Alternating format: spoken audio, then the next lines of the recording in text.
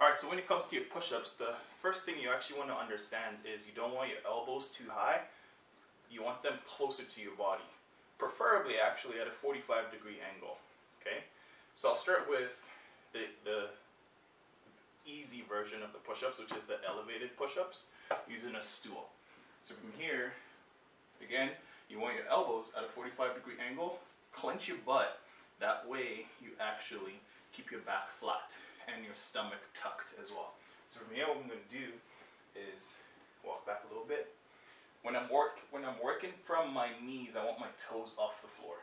From here, I'm going to drive and go back up, drive, go back up.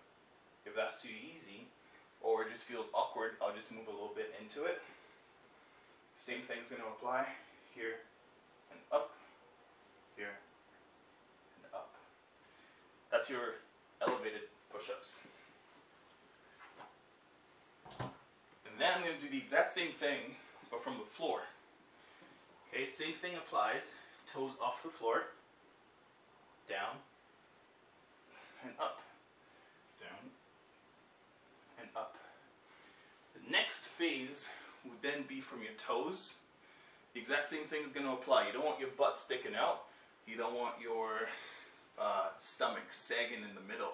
Basically, you don't want this when you're doing your push-ups or this. Okay? You want to be here. Stomach is tight from here down and up, down and up. Eventually, you can get strong enough to be able to go up here to there